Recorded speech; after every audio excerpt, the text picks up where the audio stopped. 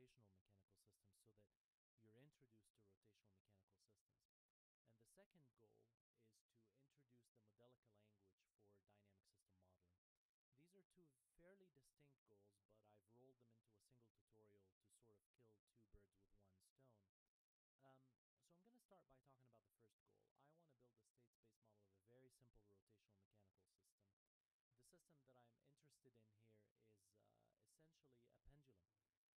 Um, I'm going to look at uh, a foundation that is fixed here and attached to this foundation is a pendulum of mass m and length l and uh, the pendulum is acted upon by an external torque perhaps it's attached to a shaft that is torqued and uh, and uh, the torque is uh, u of t and I'm interested in seeing both how the pendulum would oscillate and vibrate freely if this torque was zero and how the pendulum oscillates and vibrates under the influence of this torque. Specifically in the angle between the pendulum and the vertical which I call y of t. If you recall from the previous tutorial, uh, there are five steps to developing a state space representation of a dynamic system. The first step is to identify the inputs, and we've already identified the input in this case. It is the torque acting on the pendulum, u of t. The second step is to identify the outputs, and we've already identified the output in this case. Uh, it is the, um, the angle between the pendulum and the vertical, y of t. Now the third step is to identify state variables. Now this is a rotational mechanical system. It stores energy due to the rotation of the pendulum. And it stores two distinct kinds of energy. Um, first of all, as the mass rotates, um, as the mass of the pendulum rotates, um, it rises upwards and therefore it stores um, potential energy. Secondly, as the mass moves, it stores kinetic energy. In this particular case, the potential energy is a function of the angle of the pendulum relative to the vertical, and the kinetic energy is a function of the angular velocity of the pendulum.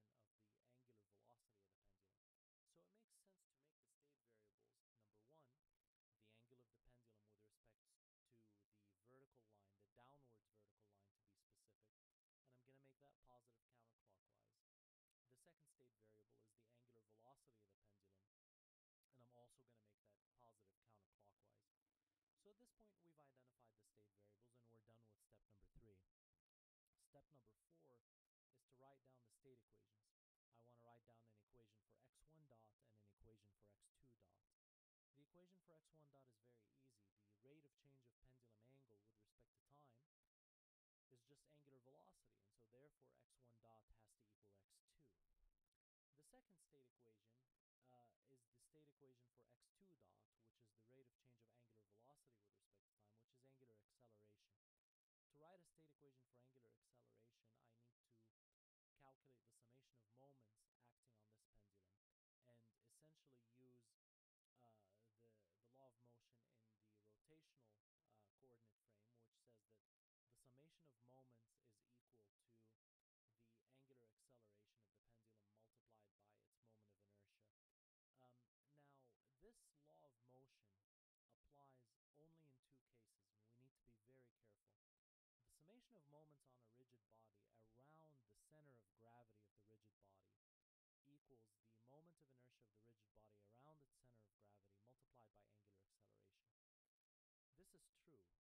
It is also true that the summation of moments on a rigid body around a fixed point in space that the rigid body is hinged at equals the moment of inertia of the rigid body around that point multiplied by its angular acceleration.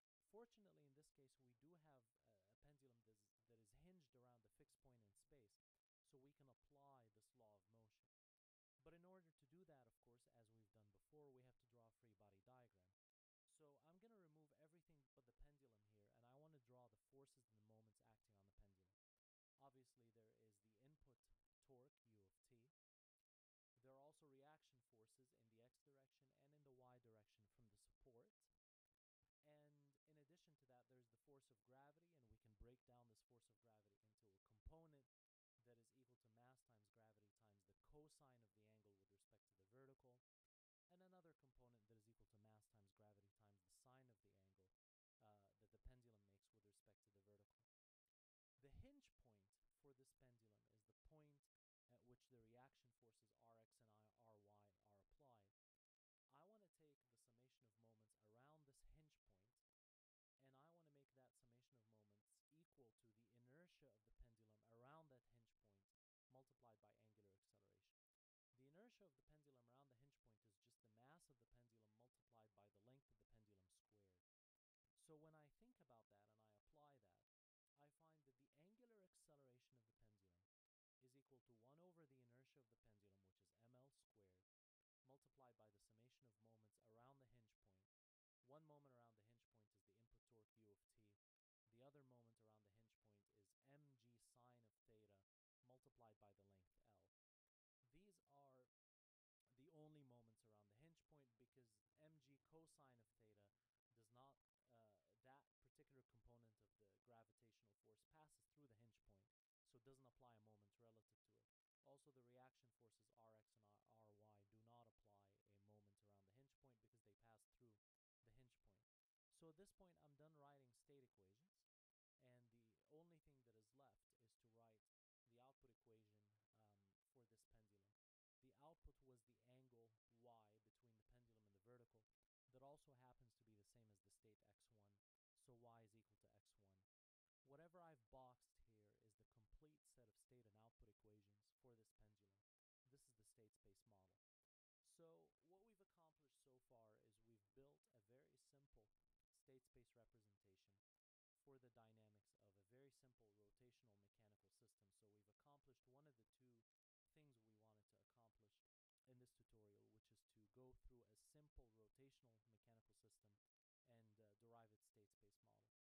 But I want to now move on to the the uh, fairly unrelated goal that I'm just trying to you know, kill with the same stone here, kill two birds with the same stone, which is to introduce you to the Modelica language. The Modelica language is a standard language that you can use to express um, system dynamics in a form that computer compilers um, designed for Modelica will understand. And uh, you can write your dynamic model in Modelica, and then there are tools out there that will compile this Modelica model and simulate it for you and combine it with a solver and simulate it for you. Um, I could be giving you a tutorial right now on how to construct a solver for a set of differential equations because that's what we're doing. And we could be talking about the Euler method for solving differential equations and Runge-Kutta methods, etc. And we uh, hopefully will get to that potentially in one of the future tutorials if we have enough times enough time in these tutorials. But what I find very convenient is instead of going to the details of how to construct a solver, I find it very convenient in constructing these tutorials um, to basically show you how to simulate models in Modelica without having to worry about how to build a solver for these models, how to how to actually build a piece of code that simulates these models. The reason why I find that convenient is because as you go through these tutorials, I really want you to um, simulate models in Modelica of things that you're modeling, just so that you can see how they behave and you can see if the models give you the kind of behavior that you expect. This will help you acquire a lot of um, intuition regarding the behavior of dynamic systems, which will be particularly valuable when we start moving to the next big section of the tutorials, the, the, the, the sort of the tutorials, which focuses on dynamic system analysis. Um, so with that preamble in mind, I want to show you a Modelica environment. There are several Modelica environments. There are several excellent Modelica environments. If you're watching uh, this tutorial because you are a, an ME450 student at Penn State, uh, we have a Modelica environment by the name Dymola installed in the mechanical engineering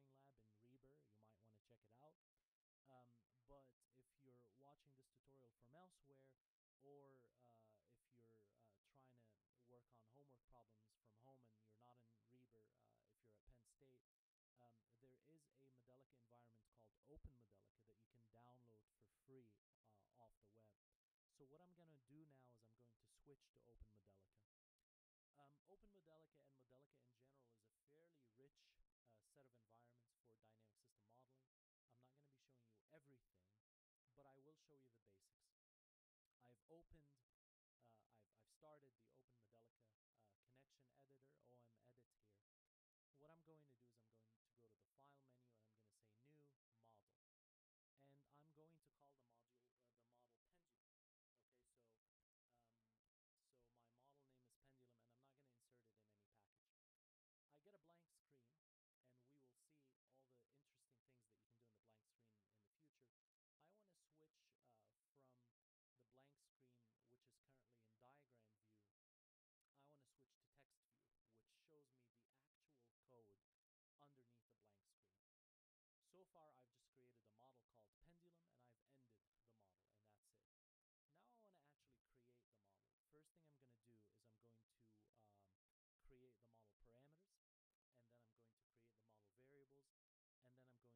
down the set of equations governing the model. And then finally, um, I'm going to simulate the model and see what it tells me. So the model has parameters, the mass of the pendulum, the length of the pendulum. Um, those are basically the two big parameters that we, that we need to, to think about.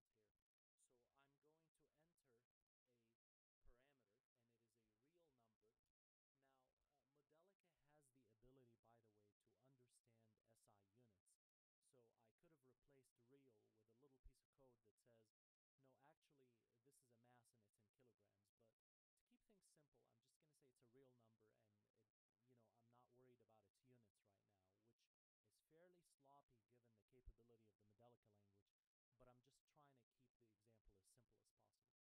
So there's a parameter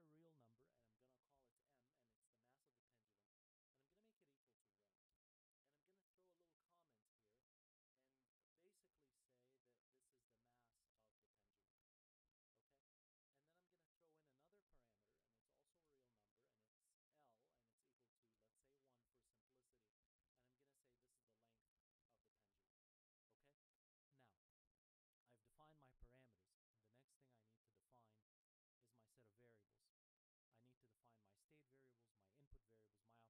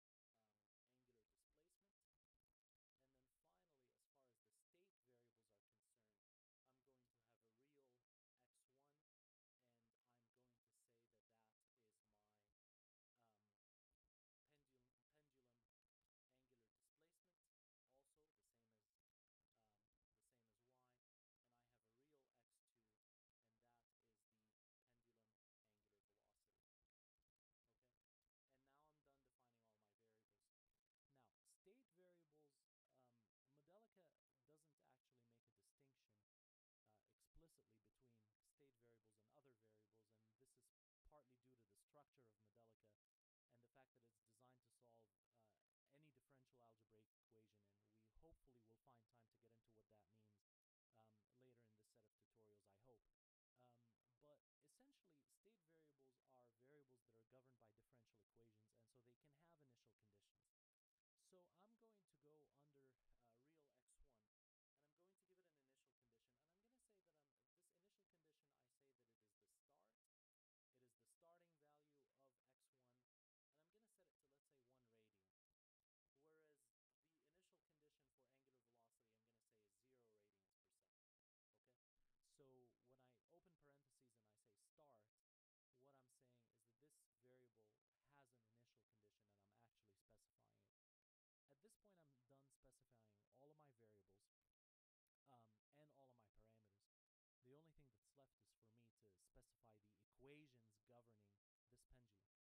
literally my state and output equations, literally my state space model. So I open a new section of code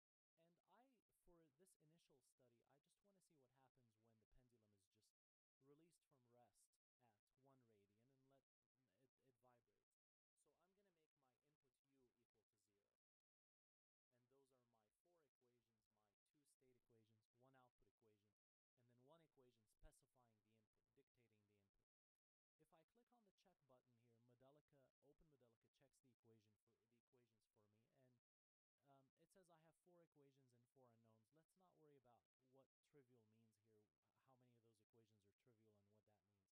and what that means. Basically says I have four equations and four unknowns, which is really great. And so basically it's ready to compile this model and run it for me. I'm going to hit the run button and I'm going to run simulate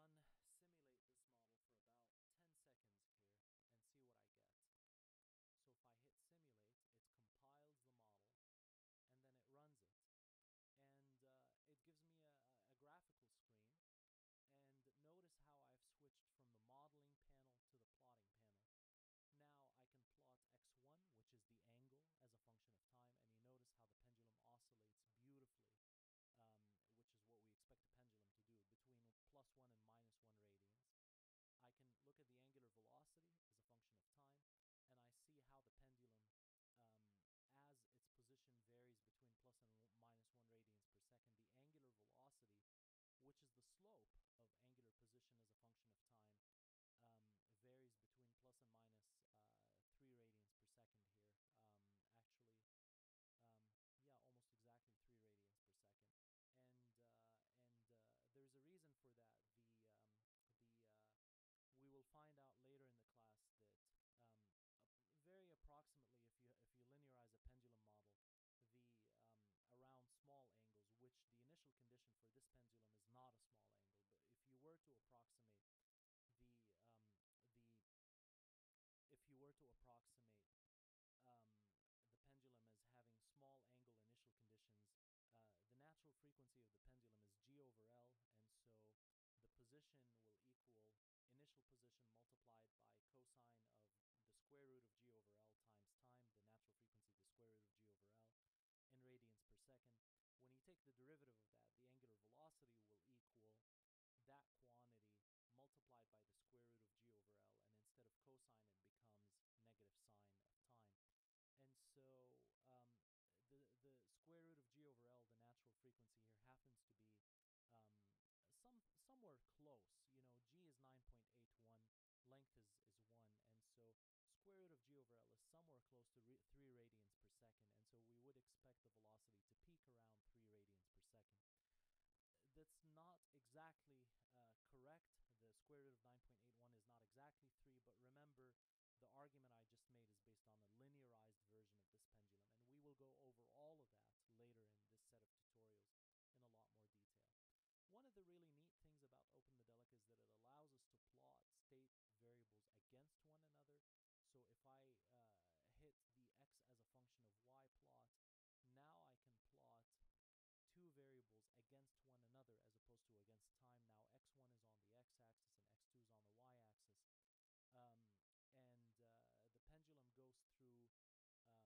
Um, and uh, the pendulum goes through, um, uh, you know, an almost perfectly elliptical trajectory here in uh, what is known as uh, the, the, the state space and also this is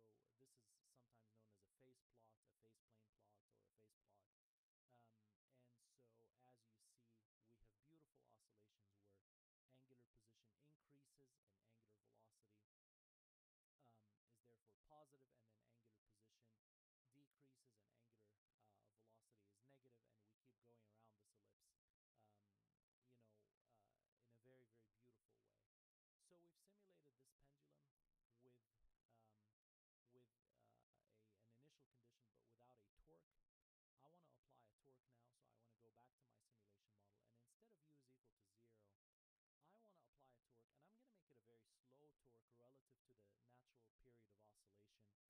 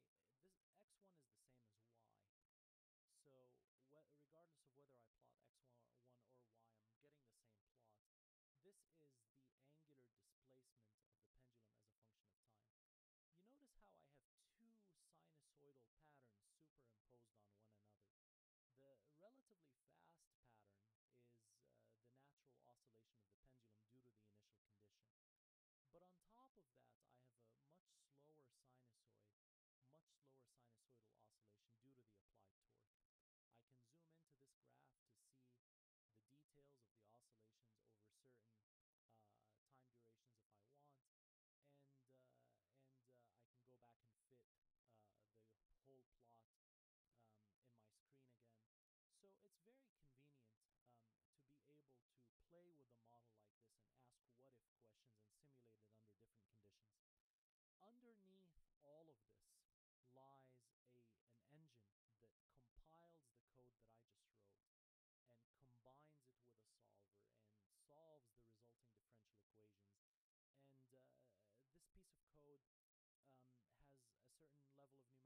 accuracy associated with it, and there are ways that you can adjust its numerical accuracy and, and so on.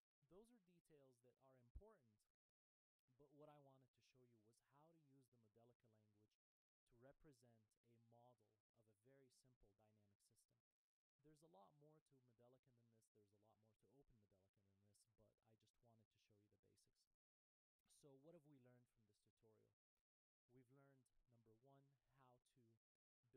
simple models of rotational mechanical systems.